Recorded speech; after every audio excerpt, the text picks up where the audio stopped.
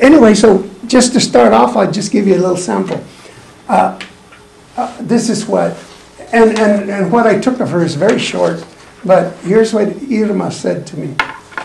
Um, uh, the- uh, Daniel and Beatriz Talamante Reese brought their family from Texas to Gilroy in 1943. Two of their sons had been sent to the West Coast by the Army, Enrique to training at Fort Ord and Daniel to Fort Lewis, Washington. The parents wanted to stay close to their sons, so they and their, how many daughters? Uh, four daughters. Four daughters. And five brothers.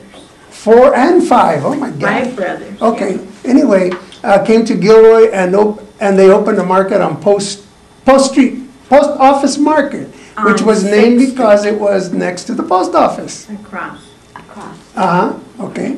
Uh, If one were to go to Gilroy City Hall, the shortest route through the back door was through the store, uh, from the Gilroy City Hall to the post office. So Mr. and Mrs. Reese came to know all the politicians and elected officials in town.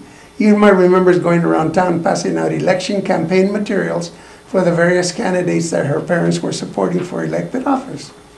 Because it was wartime, there were soldiers and strangers everywhere around town, and the Mexican mothers were concerned that the girls needed guidance and activities to keep them entertained and supervised.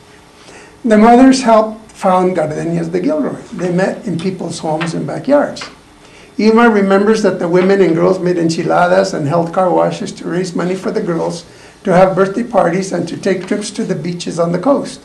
The Jardenias also raised $500 to bring popular Tejano band leader Beto Villa to Wheeler Auditorium in Gilroy. The money they raised was also used to host quinceañeras, showers for engaged girls, or to give gifts to those girls who were getting married. The Jardenias also took part in the annual Fiestas Patrias, 16th of September, and Cinco de Mayo parades and fiestas in San Jose. These activities involve planning, decorating cars and floats, uh, and Mexican folklorico dancing. It was the perfect reason for the girls to go and meet and plan, to go to meetings and planning events in the big city. Irma's parents would let the girls go, but they had to take little Irma with her, with them. After the war, Irma's brothers and relatives opened businesses in San Jose, such as the Balcony Lounge and Joe's Place. Irma said that her parents brought and ran a small hotel in Gilroy. Irma herself has worked and continuously improved her own professional career. Her education included attending Gavilan College, UC Santa Cruz, National Hispanic University, and University of Phoenix. She worked in every, in, in entry-level positions at McCormick and Company and rose to become a trainer in the Research and Development Division. That's just a tiny little bit, but I'm saying, anytime, any sentence in there, you can go ten different Yeah, places, yeah. you know, you name the mm-hmm. McCormick, and somebody else told me about Gentry, and, you know, they, or they start naming other people. Yeah. Wasn't So- Gentry Gentry? incorporated to Foods? Oh, that was way later. Oh, but Yeah, it was- and it was- Foods were both It was at called the same time? Gentry uh, Food Division, Oh, okay? okay. And the president of, uh, e- eventually, the president of Gilroy Foods, which was George Clausen, okay, his stepfather owned Gentry Foods. Okay. Okay, then there was a group of, uh, some, three farmers and three businessmen, George Clausen among them, and they started Gilroy Foods. So then Gentry became our competitor. Oh, okay. And we were subsidized because we belonged to McCormick and Company from Baltimore, Maryland. Okay. Okay? As the years went by, George Clausen left, Gilroy Foods bought Gentry Foods Division, Okay. who then, the president was Gene Blattman. George Clausen retired to Baltimore, and Gene Blattman became president of both together. So that's kind of the history of the both Well, s- because I had a brother, my brother Henry worked for Gentry Foods Division for 41 years. And, you know, and they did not like it if you called them Gilroy Foods. They continued to have that identity. We are gentry people. Yeah, my brother Frank worked in there, Mhm. worked for Gentry. Mhm, yeah. So, you know, and I, I started at Gilroy Foods working nights from eight at night to five in the morning. That was my shift when I first started. God, there was a lot of hours. No, I was eight to five, but it, at night. Oh, at night. So long. It was eight to five, but at night, yeah. And, uh, and then eventually, after two, three years, I came on A shift and went to work for research and development. That was my first day job. And then progressed from there to different departments, but I always had a love of manufacturing. Every time they would threaten to put us in another department, like HR or whatever, no, no, no, no, no, you keep it. Manufacturing to me was the heart of the company, that was where things happened. You put out a product you could see and touch and smell, and that's where I wanted to be, manufacturing. So I became the first woman supervisor in manufacturing, because they had women in quality control, women in marketing, uh, supervisors in inventory control. But manufacturing was a male-dominated environment. So when I was offered the position, I was, they didn't say it in so many words, but the understanding was whoever we select has to succeed.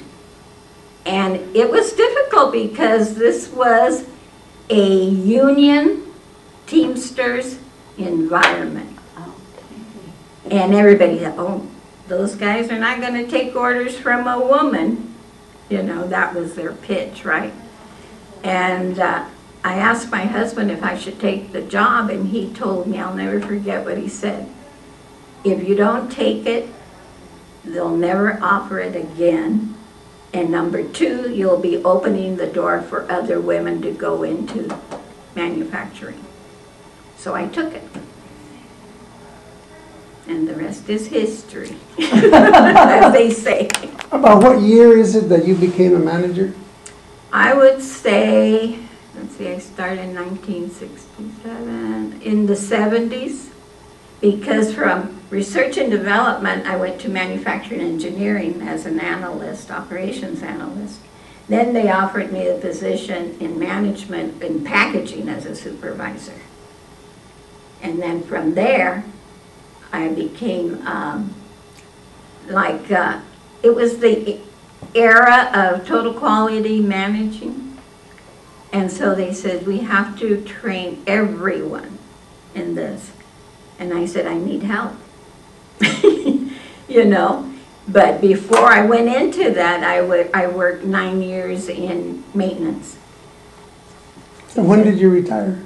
In 2000, no, the end of 1999. See, now I have more writing to do. Meanwhile, and we can do this for hours and Oh, hours and more and more and more. There's just a lot of stories. But at this time, I don't your have a story. lot of facts and Well, dates. I'll know, I'll just ask you, so, um, where, who are your parents and Okay, my parents were grandparents? brothers and Ascension sisters? Perez, and my mom's name was Della. Her maiden name was Barboa. My mom was California Indian. So everybody said, what kind of last name is that? And, uh, yeah, we were a big family.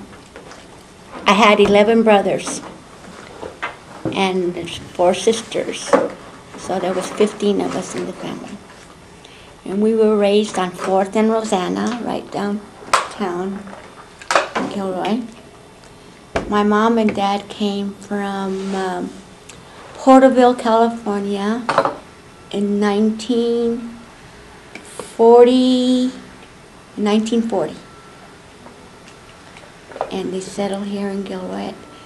Um, they lived out, right out, going south of um, Gilroy on your right-hand side, where there's a restaurant called Sandy's there now. Uh, right across the street, there was Big Prune Orchard. And the original house from the owner, George Schreffer, He was the owner, German man, and his daughter lived in that house, and that house is still there. The house is still there, and his sister lived down down the, the road there, and her name was Mrs. Ho Zhang, and her house is still there. The two houses are still there. And there, he had a daughter named Barbara, Barbara Schrefer, and uh, she still owns that land. The trees, I mean, the orchards are all gone. There's so it's nothing but prune orchards there. And uh, it's it was quite a big place, and they had a like a little migrant camp down the road as you're going into the orchards. There was a migrant camp, and every year the same families would come and pick the prunes. And uh, we we lived in a, a little house that was the, uh, his uh, Mr. Schrefer's um, other little house there. We lived there, and my aunt lived across the way from us. So family lived there, and we also picked the prunes every summer. And uh, as we grew up, there was like three sets of Bettises. The older Bettises, there was like my sister Carmen, my brother Ralph, my brother Raymond, my sister Annie, and my brother Frank. They were the first group.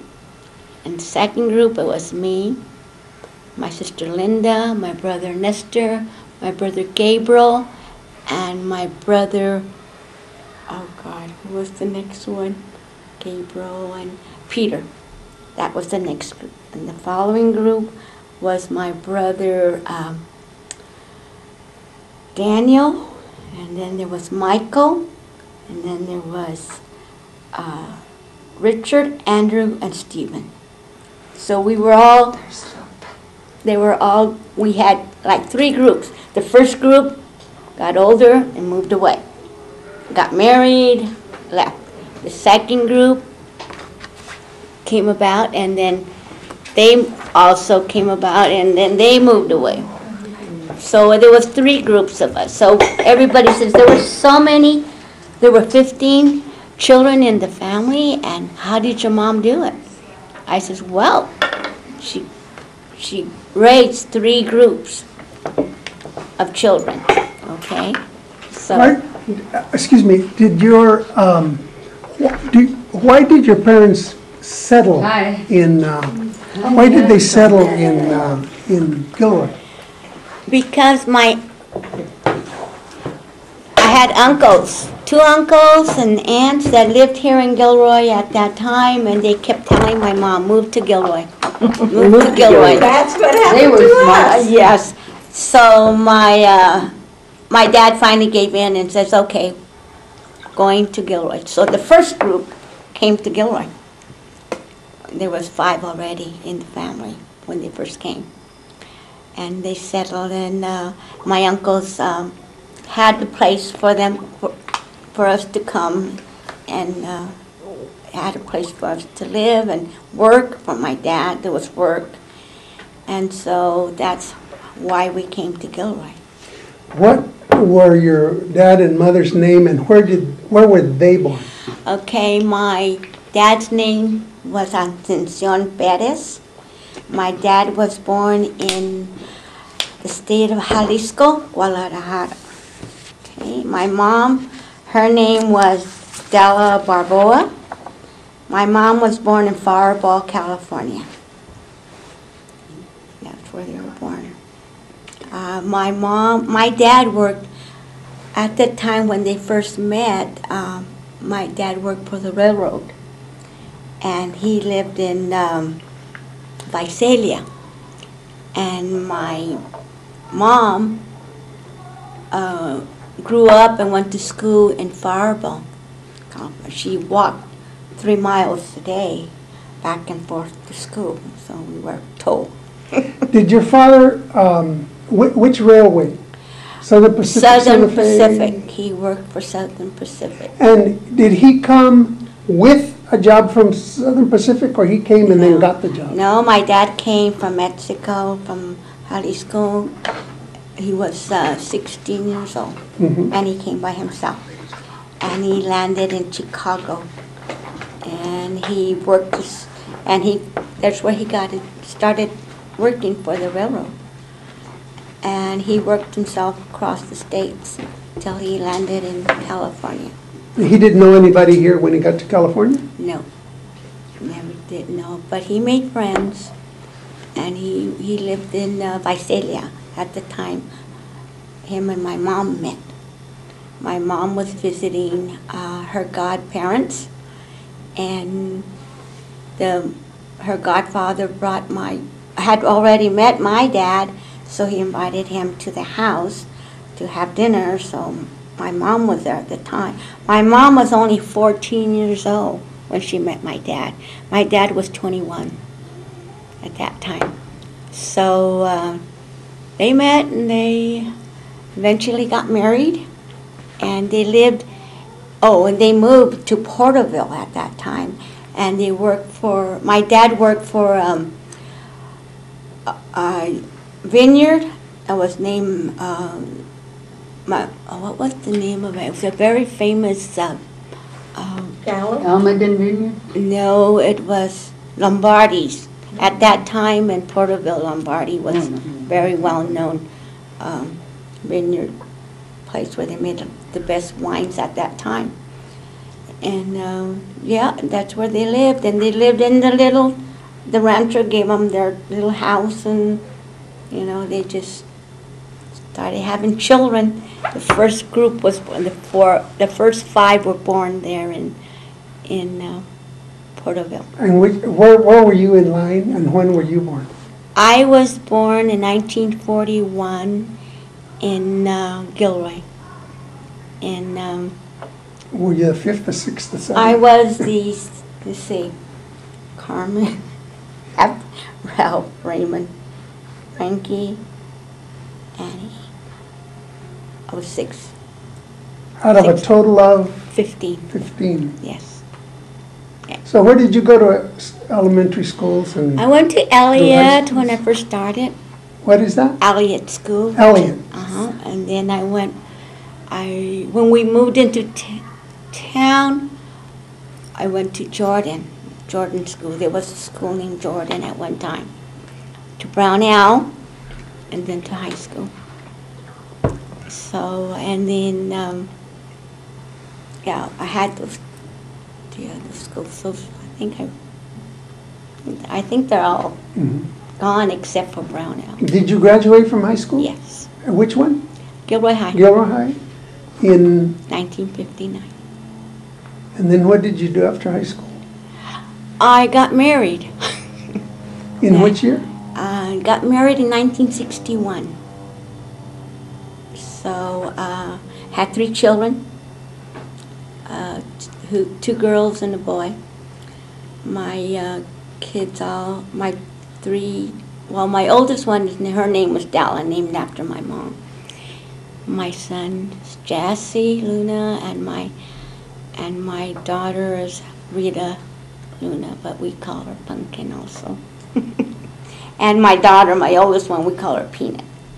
That's Margaret, you forgot, even though they had 15 kids, they were able to buy a house at Fourth and Hannah? Fourth and Rosanna. Oh, Rosanna, and a Yes. big yard for 15 kids. We had it was a big house. Big house, big yard. We had to have a big house for all the kids. but like I told you, um, the first group left because they were the old older ones.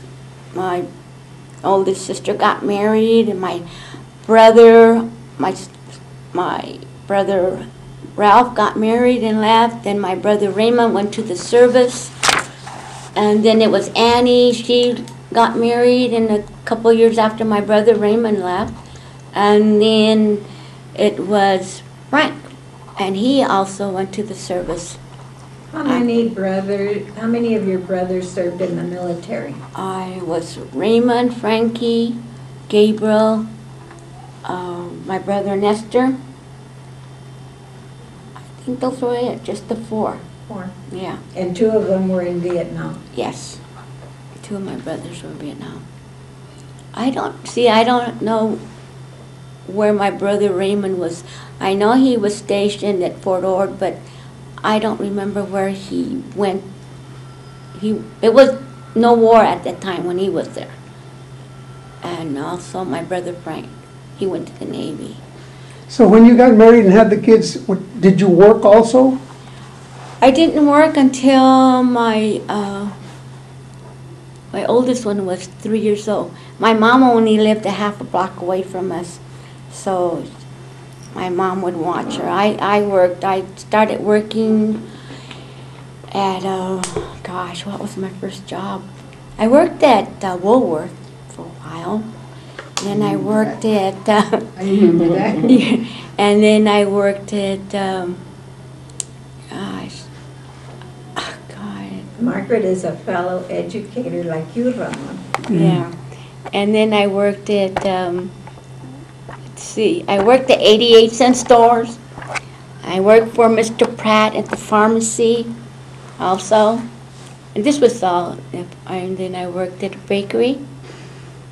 Then I worked in another pharmacy, which was over on Murray. A lot of people don't um, even remember that pharmacy. It was uh, right next to, to where the uh, convalescent home is there now. The pharmacy went up first. There was no convalescent home. There was still the orchard, the prune orchard there. And the high school was across the way. And, uh, and I worked there at that So which streets are now that location? There's still, it's Murray Avenue. That's where the, uh, that pharmacy was. And the convalescent home is still there. And it, it's been there for quite a while. And, and I used to have to deliver the medication to the, to the hospital after it was, it was uh, built. And um, they had, um, But how many years did you work for the school district? Oh, uh, yeah, well, later on, after I had my three children, I, I got hired, I went to work for the school. Doing what? I started off as a para, and um, I work, started off working three hours because that's all I wanted, because I still have my kids who are still young, and I wanted to be there for them when they got, left for school and when they came home from school. So I worked there um, for 35 years. Where, at, at, uh, uh, uh um, in which schools did you work? Okay, I started off working at San Isidro School, which was sort of like a country school out in Pacheco Pass. I was there for about five years. I went to Elliott School, which is still there, but not the original one. They have a nice new one. Nice new one. Yeah, and I worked there at Elliott. You're welcome. And then from there, I went to El Roble School, which is on Third Street, still in existence. And, uh, and then from there, I went into a special program that the state had uh, developed. It was called Even Start, and I was family advocate. There, I worked 12 years. And were all these schools elementary schools, basically? Yes, all elementary. What did you like about working with I little love the uh, kids? working from kindergarten to uh, third grade. No higher. I would not go any higher because nowadays you can't even go into kindergarten, first grade. I mean, it's the the, the kids are so I don't know how to say it, but they're not like they were in those days. They were very respectful, very good kids, and now it's really different. Yeah. So yeah. So if you think about your life in Gilroy, what are three of the highlights of your life living here? Three of the highlights. Oh my God. I know that's real hard to do, Yeah. just. I worry. had my brothers, We you know, I want to tell you I'm already here talking, by the way, I shouldn't be talking. Go ahead. I want to tell you about my brothers. I had 11 brothers. And out of the 11, um, eight of them were baseball players. Growing up, Daniel? Yeah, there was, uh, when we moved into Fourth and Rosanna, down the street there was a family named Cordage.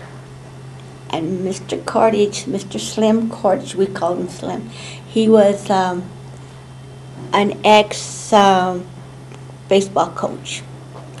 So when my brother started growing up, it was the, the younger group, they uh, would play over at this uh, condemned Severance School at that time. It was still standing, the old Severance School. It was a beautiful school, but they had condemned it. So the boys would go over there and play baseball. And pretty soon, Mr. Cordage was coming over and coaching them. So they were, could walk, they were out there playing baseball. At the end, uh, well, at- in my family, all the, from, there was on- nine boys were the last part of the family. So they were all boys that were playing baseball. And, um, and they all became baseball players.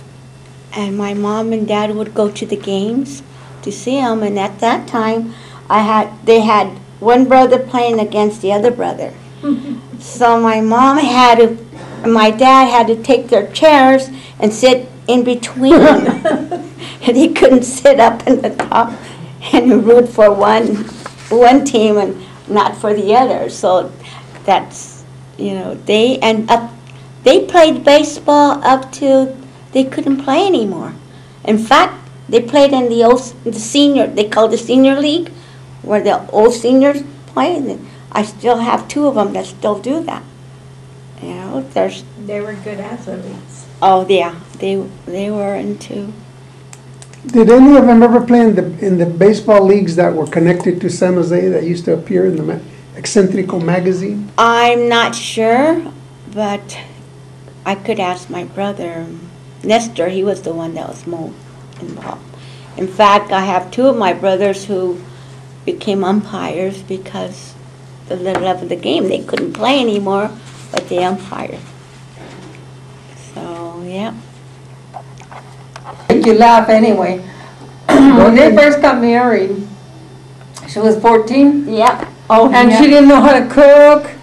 Her, her husband, you know, she was a teeny little lady. Yeah. Her husband was kind of husky and big, so her brothers was the same. And, uh, he, the, her dad gave her mother money to go shopping. Bye, bye, yeah. I remember that one. And uh, she went and she shopping with a friend, and they bought a doll, uh, jacks, you know, things that Jump little girls like. Yeah.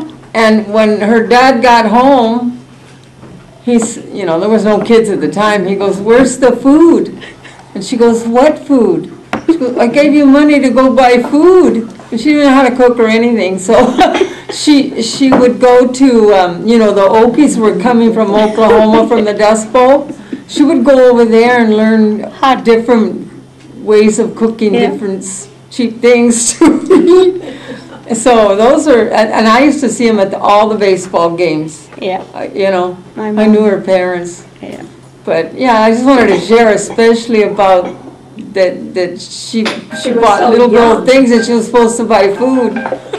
Yeah, there was another one where my mom was a very, um, I mean, if you told my mom, no, you can't do it, she would find a way how to do it. So when they lived in Porterville and the- my dad was gone to work, they had, my mom and dad had a car, but it would stay there at the house. My dad would take a truck to work. And uh, she always wanted to learn how to drive. And my dad would take her to buy groceries or take her to buy whatever, you know. And she would watch him how he, in those days, it it was a Model T, she told us. And sh- she would watch how he drove the, the car. Hello, baby. And he, she kept asking him, when are you gonna teach me how to drive? He says, oh, tomorrow, uh-huh. tomorrow, Bye. I'll, I'll teach you. Bye. So one day she just decided, okay, I think I can, I think I can drive the car. So she got into the car, started it up, got in, and the car started just going in circles. in circles, and she didn't know how to straighten it out. So she finally decided, okay, this is how I want to straighten out. She turned the wheel. And when she did that, she hit the side of the barn and broke her arm and messed up the car. and the and the farm uh, the ranchers wife heard what heard the noise, so she came running out. And so she, I have to go get your husband. So they went and got him. He came back and took her in to the doctor. They had to put, put a cast on her arm and everything. And finally, my dad tells her, "Okay, I'm going to teach you how to drive." I'm gonna, I'm gonna say, uh, Eleanor, okay, let, let me listen to Eleanor a little bit, then I'll turn a little bit. Just tell me who you are and, I'm Eleanor Villarreal. I'm originally, I was born in San Francisco. I grew up in Hollister.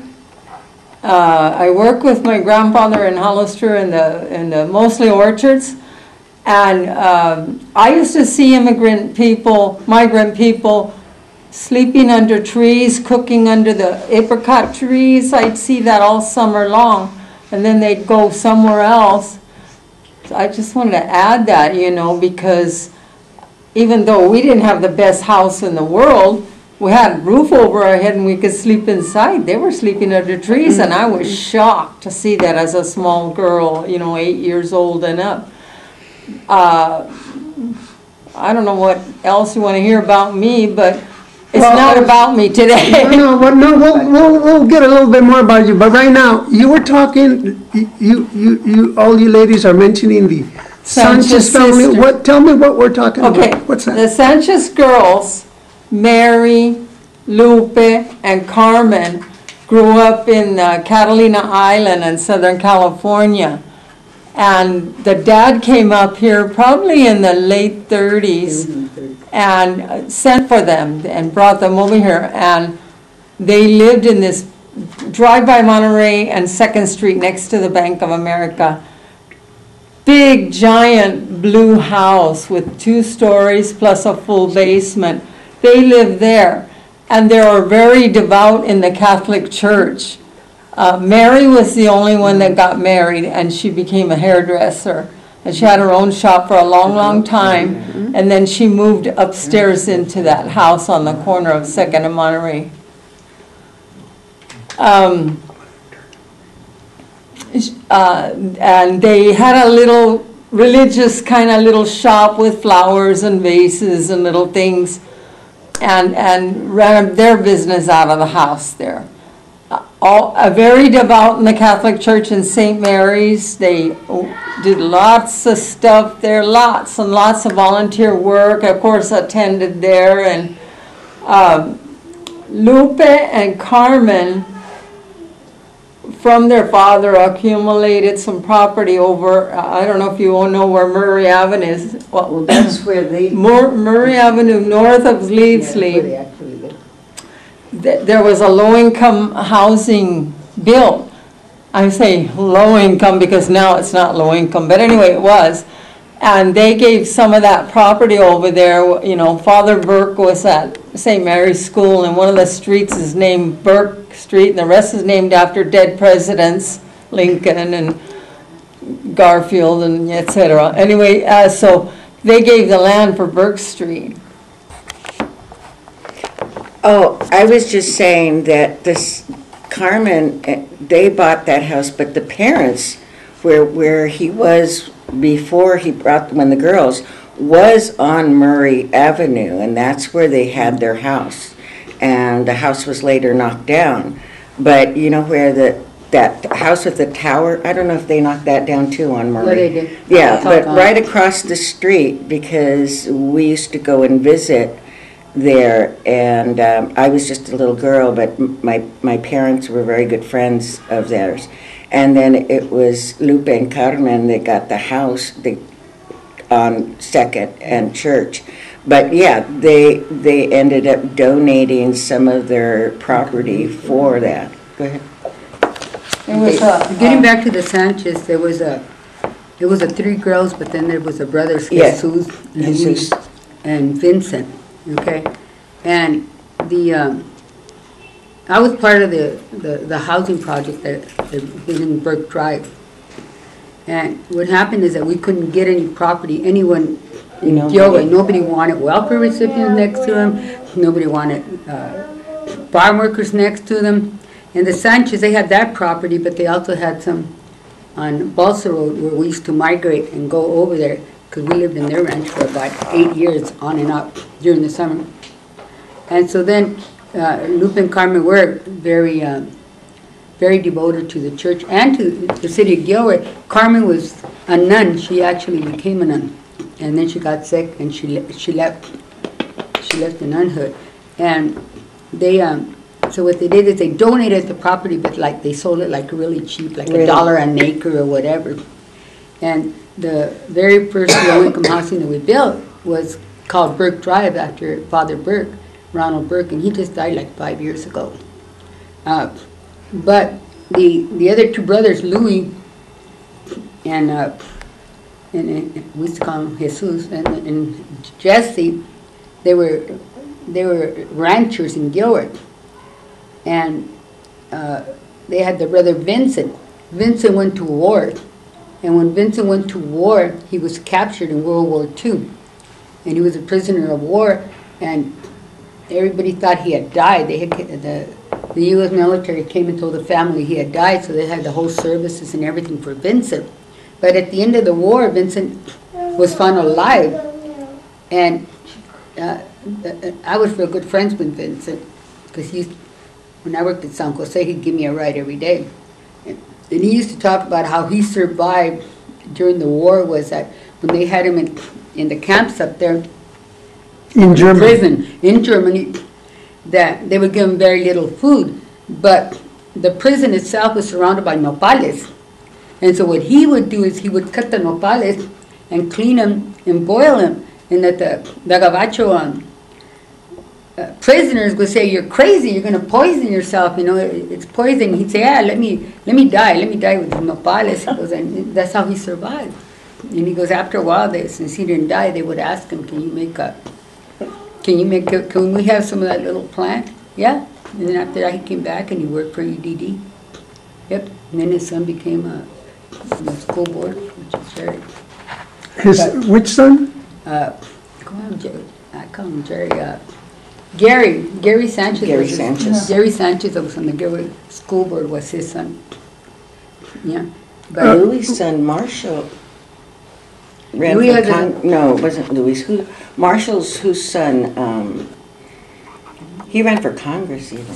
He's in Arizona now. Yeah, no, I, I know, I know that, uh, Louis' One of the younger ones. Louis' son, uh, little Louis still lives right there on, on Forest, Forest and Walnut, and he has a trucking, those trucks that you see there, Oh, the that's big their trucks. truck, uh-huh. And then they, they adopted a son named Joey, but I don't know where Joey is now. Yeah. In Yeah. fact, Eleanor, Eleanor uh, nominated Lupe Sanchez for the Hall of Fame. Yeah, there, there's the Hall of Fame here in Gilroy, and of course, dead white people were always uh, the winners of the Hall of Fame. And um, one year, Dr. Arvizo, Dr. John Arvizo here in Gilroy said, why aren't there any Hispanic people? They were here first. And uh, so he and Bob Dyer, one of the, who just died about not even two weeks ago, uh, got into you know arguments and worse than that about why aren't there any Hispanics.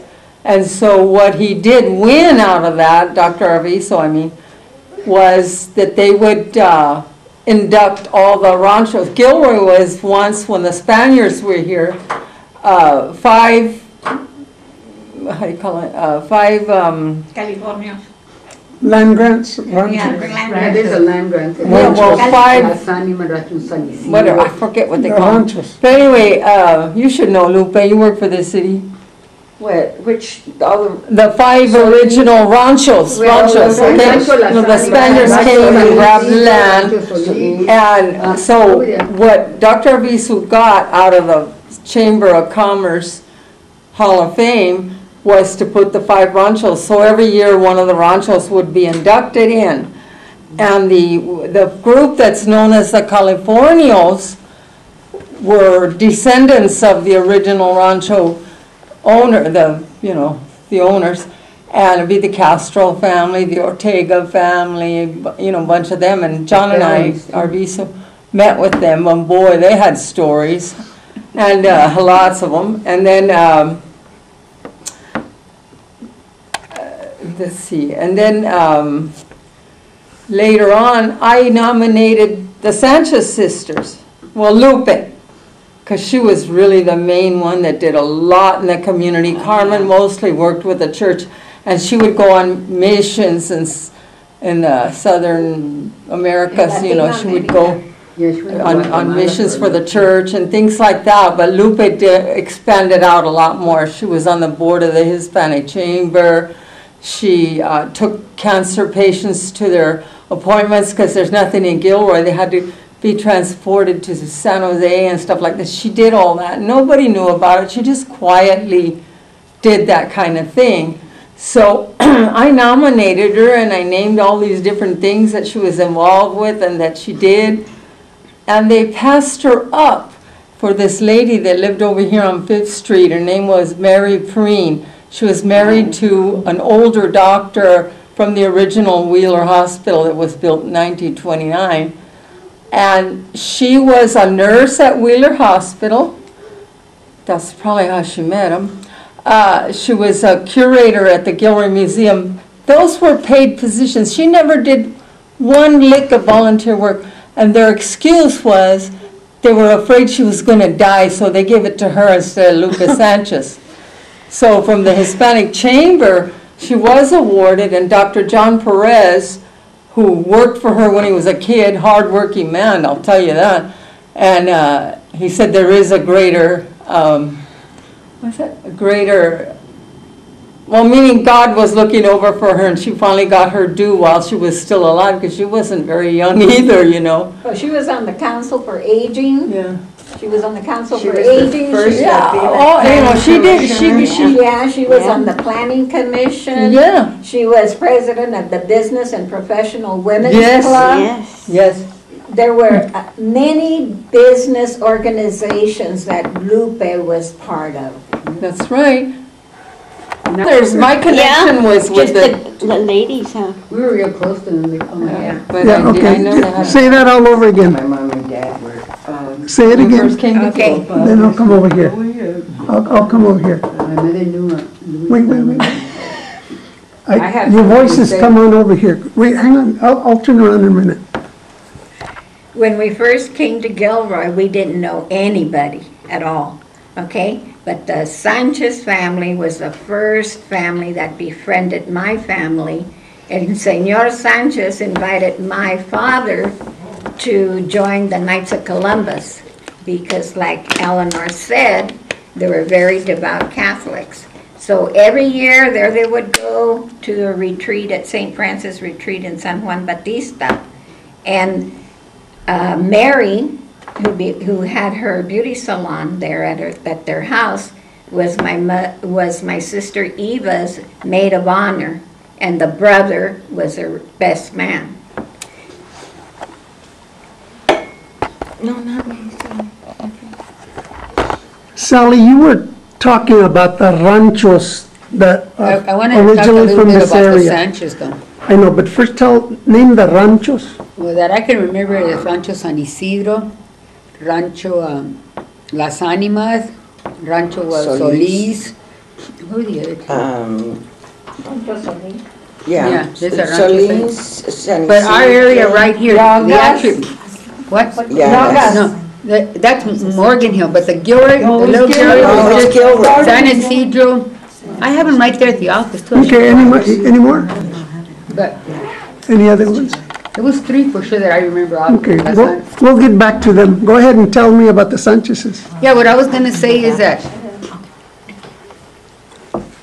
my whole life, I remember Chavito Market, and that was owned by the Mata family, you know, with, with, you know, who, uh, now I can give you that, the Mata family. And what would happen with the Sanchez, and I was just a little kid, maybe three or four years old, and it always stayed in my head, and they really impressed me, was that during, right before the election, Lupe and Carmen would put an old, uh, like the deck of cards table out there, and they would register Raza to vote. They were the first people, and like I said, I was maybe three or four years old, but that stayed in my head, that they always went out to register people to vote. And we worked a, a lot of elections together once I, this, once I turned twenty-one, I would help them. Yep, the first majority of Latinos in Guerrero. I was too young. Yeah, she's a different generation. I'm, I was gonna ask a question. Um, a- as I hear about the Sanchez's, I hear a lot of land. How, anybody know what, where did that come from? Well, you bought it, but it's like like, about how, you know, Mexican people buying land. oh, yeah. What, Well, who for are instance. these people? For instance, okay, my mother was a Vasquez, okay, and they were migrants out of San Bernardino, and they would come all the way up California doing all the different crops. Well, m- my grandfather believed that it was cheaper to buy a piece of land and build, aunque sea cartones, to live on, work the area, and that way when you left, you could sell the piece of land. So he always said, we're not going to rent or live in a migrant camp, we're going to buy. So that's how they were all brought up. So they were here, the first time they came to Gilroy was in 1925. And my mother was 10 years old by then, and they had gone all around, but they bought their property in Gilroy. And then when her father died in, I think, 1929, she was 12, so probably 27, um, they owned a, just like an acre of property out on Pacheco Pass. And so from there, half of the family stayed there, and the other half was down in San Bernardino. So the older boys would stay there, and then the younger kids would be down there. So they would be a separate family because my grandmother was a widow with nine children. But they always believed in you buy your piece of land, you know, because uh, I don't know what land was worth back in 1925, you know, $100, $80 or whatever. But they always said you buy your piece of land porque nadie te saca de allí. and that's how the family still owns the ranch out on Pacheco Pass. It's the Vasquez Ranch. My uncle Chino um, was one of the, the first ones to stay there, and he lived out in that ranch most of all of his life almost. life. And that's out on Pacheco Pass, and they had owned that ranch since 1927.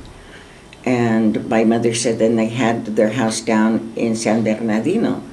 And the house down in San Bernardino was a, a large house because they all lived together. My my grandma and her sisters and everybody, everybody lived together. And she says so the the house. My father always said you buy a house and you make it grow. So they bought the land next to them. And so when they came up here, it was only natural since they were working in the fields and as migrants that they bought their piece of land. And that was something that all of their their neighbors knew too, like the Sanchez brothers. You know, they said they were the same thing. You buy your piece of land because nadie te saca de allí.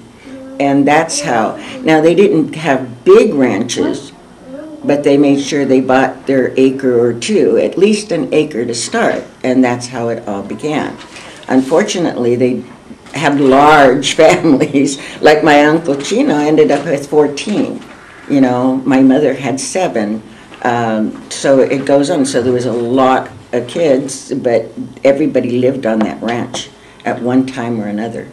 And then later on, my fa- right piggyback on the backside of that ranch was the Gubser Ranch on Frazer Lake. And when I was born, my father worked for um, Joseph. Joseph Gubser there, and he lived on one of the houses, but it back it backsided to the Vasquez Ranch on the other side on Pacheco Pass. So that's where the line comes from. You know, there's that that theory that if you buy your land, at least you have some place, and you could migrate from there. And that was the Northern California, the Pacheco Pass property was the Northern California base, and from there they would go up to Lodi, and they would go, you know, over to the valley to the peaches and stuff, and The the cotton, nuts, the cotton, yeah, and the yeah, cotton, goodness. so that they would have a base. So they had a Northern California base and a Southern California base. Um, my mother is a fifth generation um, California, you know, so. From, from where? From what San area? Bernardino. Okay. From San Bernardino. Tell me more about your Uncle Chino.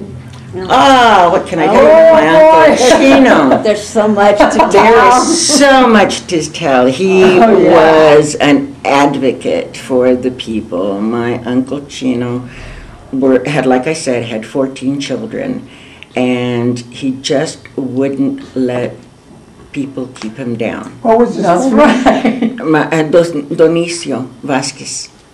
Donicio Vasquez Vaca. My, my grandmother was a vaca. Um, my grandfather was born in California. His, my great grandfather was born in California. The Vasquez were all from California. And on my mother's side, she, her mother was from Arizona, and her great grandmother was from Arizona, and then my mother was born in California. So anyway, it just went on that way. But uh, my uncle Chino Vasquez just was a marvelous man. Um, he didn't believe that anybody should put you down just because you worked in dirt. He said, just because we're dirty doesn't mean we don't have a brain and we don't think and we don't have rights. And I think he was so thrilled. I remember him being at the house one day telling us about there was this great movement happening over in the valley. And he met a great guy. And that guy was Cesar Chavez. And he says, This man is in my brain. He says, Everything that I've been trying to do here, you know, he's been doing over in the valley. And so my uncle Chino connected with him and brought Trabajadores Adelante. He was, you know, one of the first um, members of um, the, what is it, the CSO? What was it? community service. Community Service Organization, And he was on the board of South County Housing, original board. original board I was of with South it. County Housing. I don't remember either, but I Yeah, was. but the original board, he, um, like I said, he started the- the chapter of the Brown Berets here in town for the young Latinos, you know, he, he says, you know, don't call yourself Hispanics. You know, the Spaniards oppressed us, you know, he goes, call yourself a Chicano, call yourself a Mexicano, call yourself a Latino, call yourself whatever you want, but you're not a Hispanic. You know, that was, he, he hated that because he said they were our oppressors. Yeah, They tried to keep us down. That was really a political term, Hispanic. Right, so, but my Uncle Chino, that's who introduced me to it, you know, n- you're not Hispanic. But that's my Uncle Chino and with a lot of other stuff I can tell you. You, you were, had something to say about Chino. Oh, well, Lupe described him very well. He didn't put up with any, whatever, fill in the blank. Uh, He, you know, if somebody even felt insulted, he spoke up. He wasn't one of those that just stayed real meek and quiet. He didn't And, uh, take it. Yeah, and we were on the uh, housing board, which just got taken over, was started in 1986, and he was on the original board, and so was I. And it just got taken over by a, uh, Eden, which is a profit-making organization. Oh, and Patty knows about that, she worked there. And, um, later in life, Chino got, uh, Parkinson's really, really bad and left the area, I guess, huh, Lupe? He No, left? no, no, He no. stayed? He didn't, no, he. Really? I thought he He left didn't for have better Parkinson's, weather. it was, what's his name, who had Parkinson's and went to Arizona. Um, What was the other man's name? Oh, God, I can't remember his name. But my Uncle Chino didn't have Parkinson's. He Oh, had- Chino stayed? He had asthma. Sorry.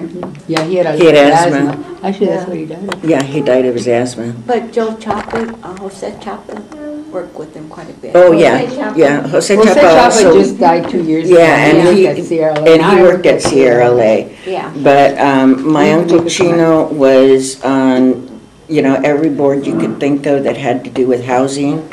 You know, way back when the Sanchez's were talking about the Burke Drive.